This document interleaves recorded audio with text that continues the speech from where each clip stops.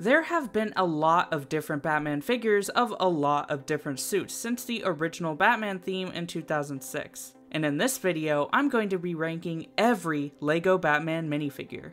Numbers 73 through 71 is Mighty Micro's Batman from three different sets as there are three different versions of them. They are all taking the last spot as I dislike them all. Mighty Micros always ends up last on my list because like I said before, I don't like the goofy designs with the short legs and I always prefer regular figures. Number 70 is Mermaid Batman from the LEGO Batman Movie Collectible Minifigures Series 2 in 2018. The LEGO Batman movie had some ridiculous Batman figures, and I'm not the biggest fan of some of them, but this one is my least favorite. The mermaid tail with the shells on his chest just doesn't work for me, and it's not my favorite idea they've done, but it's still kind of a fun figure. Number 69 is Junior's Batman from a few sets in 2014 and 2016. I think this color scheme really works for Juniors and that lighter tone, but it's just not one I prefer for Batman. Blue Batman suits aren't my favorite anyways, and for blue suits in general, I prefer a darker blue.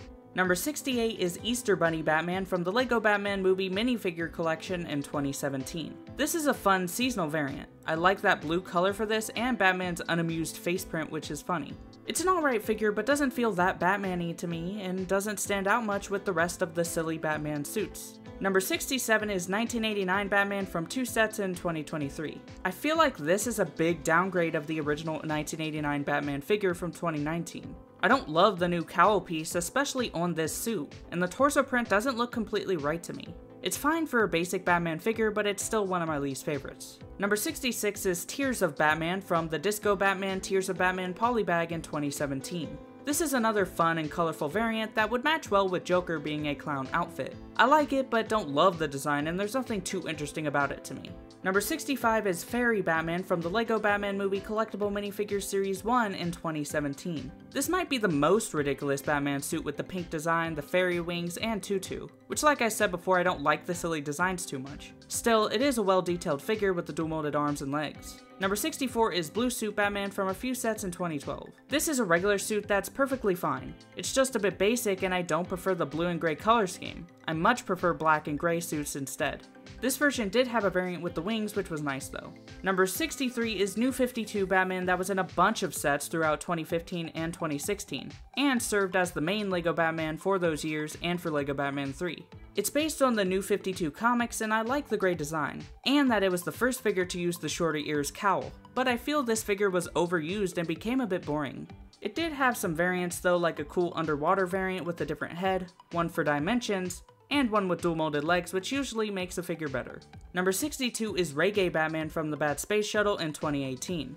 This is the suit that Robin gets his outfit from in the movie, but because of that, it doesn't feel much like a Batman suit to me with that headpiece and the obvious Robin design. Also, because it's on display, the figure has white arms, so it doesn't work well on a regular Batman figure. It's still a cool design though, and nice that we got the actual figure for it in a set. Number 61 is Swimsuit Batman from the LEGO Batman Movie Collectible Minifigure Series 2 in 2018. This is a good figure with some nice parts to it like the goggles on the cowl, the shirtless print, and the speedo. It's just not a figure I prefer. Number 60 is Tiger Tuxedo Batman from the Batman Cave Pod Polybag in 2017. This one is just boring to me. The tiger design for the tux is kind of neat, but for Batman it just isn't that interesting and there are other tuxedo designs for him that I prefer. Number 59 is Dark Knight Batman from Comic Con 2011. This is a pretty expensive figure to get, being very exclusive, but I feel it's not that special since we've gotten many figures based on the Dark Knight suit. So it's a very weak Comic Con figure, and my least favorite of the Dark Knight Batman figures with the weird light printing on the chest. I think it's still an okay figure, it's just not worth the price it costs to get nowadays with there being way better options. Number 58 is the Scoobat suit from Batcave Break-In in 2017. I like suit variants that actually have more of a purpose like this one more than the silly suits. But I don't love the blue and orange color scheme for this, and there's a Batman scuba suit that I very much prefer. Number 57 is Batman of Zur-En-Arrh from Comic Con 2014. Now I don't know much about the story this figure was based on, and this was a pretty unique figure and a great idea for an exclusive. But the suit is very wacky and colorful for my taste even though it may be accurate, especially with all the other wacky suits that make this less unique, I just prefer other figures more. Number 56 is Disco Batman from the Joker Manor in 2017. The white and gold look is sweet, especially with that cape, and it's nice with the complete set of the other disco figures, but I think Batman is the worst of those disco figures, and he also has similar suits that I like more. Number 55 is the Batpack Batsuit from Batcave Break-In in 2017. This is one of those similar suits, but the gold is a nice difference. I still don't really care for these types of Batman figures. They aren't really that interesting to me, but it is kinda cool and I like it a little more than the last one. Number 54 is Roller Disco Batman from the Disco Batman Tears of Batman polybag in 2017. This is another similar suit. I like this one more because it has more contrast with it being white and purple. And the gold roller skates are a nice addition. It's my favorite design of the three even though I don't care for these types of batsuits. Number 53 is Black Suit Batman from a bunch of sets with some variations over the years being one of the more common Batman figures since 2012. This is a very standard figure and kind of generic, but you can't hate it. It's a quintessential Batman figure. It's just this low because it's not that exciting, but it doesn't need to be. Number 52 is the LEGO Batman movie Batman, appearing in most LEGO Batman movie sets from 2017 to 2018. It's a very similar suit to the last one, but I like the extra details with the expressive eyes and utility belt piece. It also had many variations with different head prints and even a version from the first LEGO movie that I'm putting into this same category. Number 51 is Begins Batman from the Tumbler in 2014, and it's a fine figure but it's not that special. I think the printing looks too bright and it has gotten another figure more recently that I like better. Number 50 is Clan of the Cave Batman from the LEGO Batman Movie Collectible Minifigures Series 1 in 2017. I think the idea is pretty neat being a caveman Batman, and the details look nice with the rugged look and the Rock Bat logo. It's just not one of my favorite Batman ideas. Number 49 is Bachelor Batman from the LEGO Movie 2 Queen Watevra's So Not Evil Space Palace in 2019. This one is stylish with the sparkly design, but we've seen similar Batman figures and it's not my favorite type of Batman figure. Also, without a cape, it looks incomplete. Number 48 is Vacation Batman from the LEGO Batman Movie Collectible Minifigure Series 1 in 2017. This is very similar to Swimsuit Batman, but I like this one more because I like the shirt design and the shorts. Plus, this comes with a cute Bat Duck floaty. Number 47 is Wizbat from the LEGO Batman Movie minifigure collection in 2017. This is another cool idea and a nice design with the robes and a different cape for him. It's just another wacky Batman figure, but not too wacky for me. Number 46 is Beware the Batman from Batman the Riddler Chase in 2014, and this is based on the Beware the Batman show. It doesn't look that accurate, but that's mainly due to the weird animation style. Still, it's a cool, unique one-off standard Batman figure that feels kind of random. I like the Bat logo, and it's nice to get one-off regular suits like this, but the gray hands don't look right. Number 45 is Light Gray Rebirth Batman from a bunch of sets in 2018 and 2019, and served as the main LEGO Batman figure for those years, and it seems to be based on the Rebirth comic suit. I like the design with the yellow outlining the logo, but I don't love the light gray. I usually prefer darker gray for Batman, and this is another figure that was kind of overused. Number 44 is Dollar Bill Tuxedo Batman from the LEGO Batman Movie minifigure collection in 2017. Like I said before, the Tux Batman figures aren't my favorites, but I love the design of this with all the dollar bills with printing even on the arms and sides of the legs. It's a cool tux that would be great for other figures, but not the best for Batman. Number 43 is the Returns Display Batman from the Batcave Shadow Box in 2023. It has a similar problem to the newer 89 suit being a worse version of a better figure with the new cowl piece I don't like as much. It's higher than the 89 figure though because I just like this suit more in general with the more armored design. Number 42 is Dark Knight Batman from the Bat vs. Bane Tumbler Chase in 2013. And they've done this suit other times and this is an okay version of it. But there have been better and worse figures of this suit, and this one just doesn't stand out much. Number 41 is Raging Batman from Batcave Break-In in 2017. I like the boxing design for this with the gloves and dual molded legs for the shorts. It's another cool and fun unique design for a batsuit.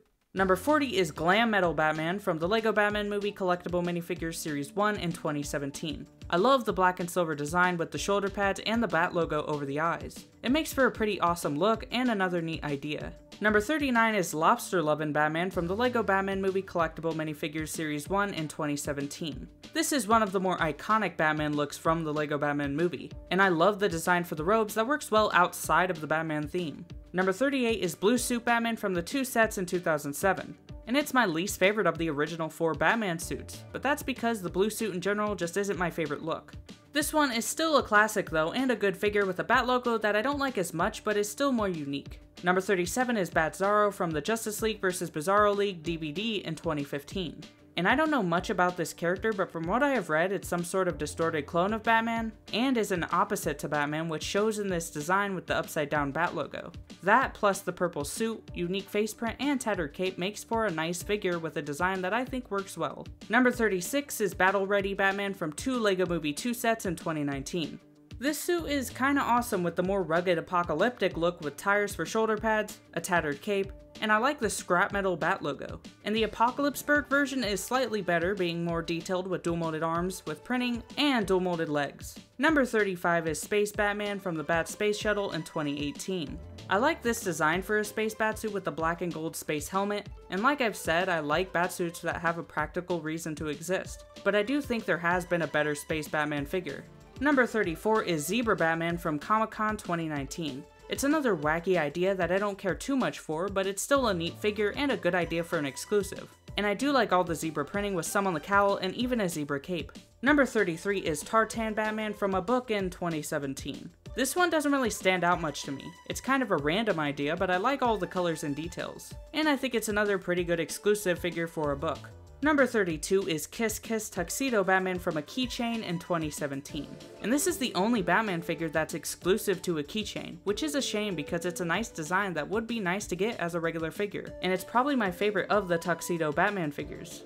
Number 31 is the classic TV series Batman from the Batman Classic TV series Batmobile in 2021. There was a previous version of this suit that I like a little more. This version is light gray and I think the printing doesn't work as well here, and it's not my favorite suit in general. The details are still good though, especially on the cowl. Number 30 is the classic TV series Batman from the Batman Classic TV series Batcave in 2016. This is the sand blue version, and like I said, I think the printing just works a little better on this figure. But to me, both figures are good, and it was hard for me to choose between them. Number 29 is Begins Batman from the Batmobile Tumbler Scarecrow Showdown in 2021. I think this is the best figure of this suit. I like it more than the previous version because the printing details just look better even though it's still pretty similar. Number 28 is the 1989 Batman from two sets in 2019 and 2020. The unique cowl and cape piece gets the look from the movie down pretty well, even with the weird bat logo, but it is a bit limiting in movement, which is also somewhat accurate. It moved down on the list recently for me because of the existence of the Returns version, which is a suit I like way more. Number 27 is Black Suit Batman from multiple sets in 2006. It's one of my favorite standard black suits for Batman because it's another classic, and I like that this black suit is more black and gold rather than the usual yellow we see on most black batsuits. Number 26 is Dark Knight Batman from three sets in 2008. It's pretty similar to other figures based on the same suit, specifically the 2013 figure, but it's one of the better ones to me because I like the printing a little more and of course it's another classic, being the first minifigure of this suit. Number 25 is Electro Batman from the LEGO Batman Visual Dictionary in 2012. It's also in the LEGO Batman 2 video game which I love and it's another suit that has a purpose. It has some nice light blue printing with even some on the cowl and arms, but it feels a little incomplete because it doesn't have the backpack like in the game. Number 24 is Yellow Lantern Batman from the LEGO DC Superheroes Visual Dictionary in 2018. This is based on the idea of Batman being in the Yellow Lantern Corps because the Yellow Lanterns are powered by fear, which is a neat idea that makes a lot of sense because Batman uses fear. The figure itself also looks pretty cool with the yellow eyes and details, and it's nice to get more Lantern figures in general. Number 23 is BVS Batman from two sets in 2016. I'm not a big fan of this suit in the movie, but I like this figure, especially with the details on the torso and dual molded legs. But there has been a better figure of this suit since. Number 22 is Excalibur Batman from the Dimensions Excalibur Batman Fun Pack in 2017.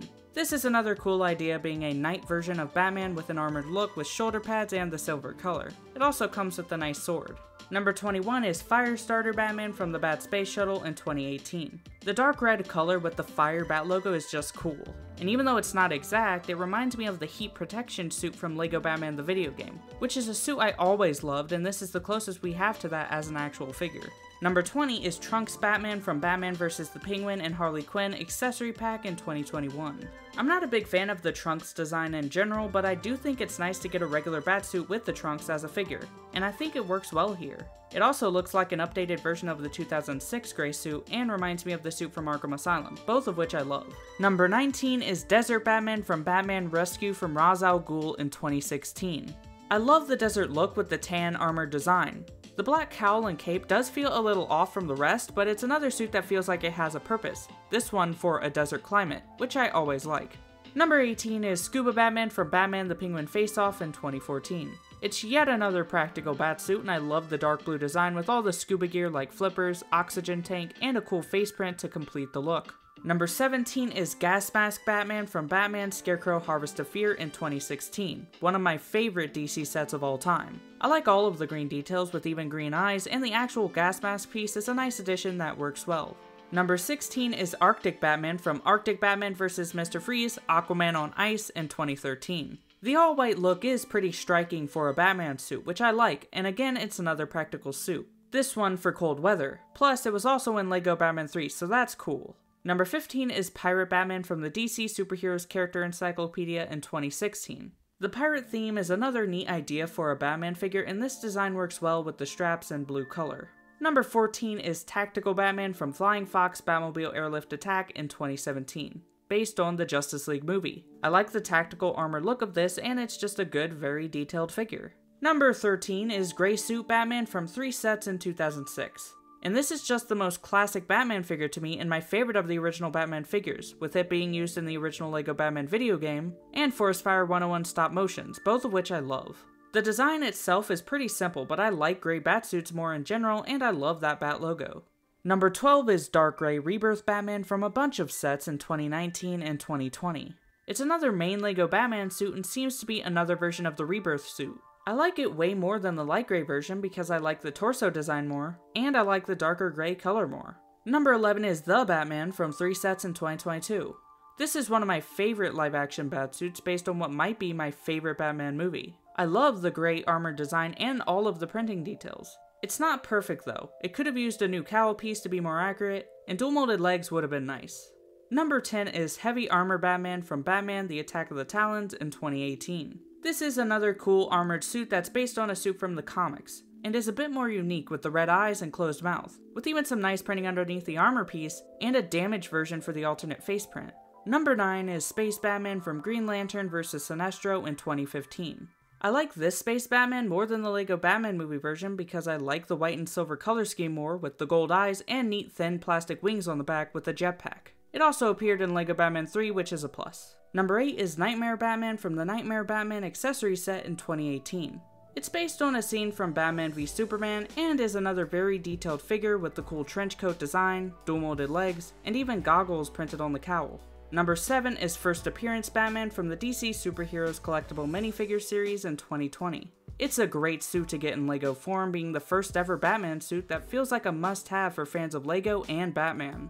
It's a more simple design, but more unique with that bat logo, the purple gloves, and that cowl piece that's only ever been used for this figure. Number 6 is BVS Armored Batman from Clash of Heroes in 2016. It's yet another awesome armor design and I think the armor piece with the cape works well, with more detailed printing underneath, and a nice glow in the dark head to make the eyes glow. Number 5 is Justice League Batman from Knightcrawler Tunnel Attack in 2017. Like I said before, I don't love the actual suit, but this figure looks so good with the detailed printing.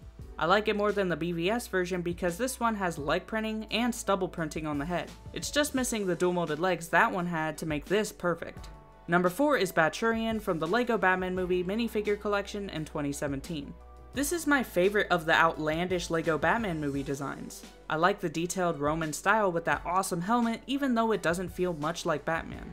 Number 3 is Dark Knight Batman from the Batmobile Tumbler in 2021. Like you've seen, they've made different figures of this suit so many times and this is by far the best. It's one of the most detailed regular Batman figures and finally got the design right with it being mostly black with the detailing. Number 2 is Arkham Knight Batman from the app-controlled Batmobile in 2018. Now this isn't officially based on Arkham Knight, but it obviously takes inspiration from that, and that's why I love this figure. I love the Arkham games with it being my favorite version of Batman, and I love this suit that it's based on.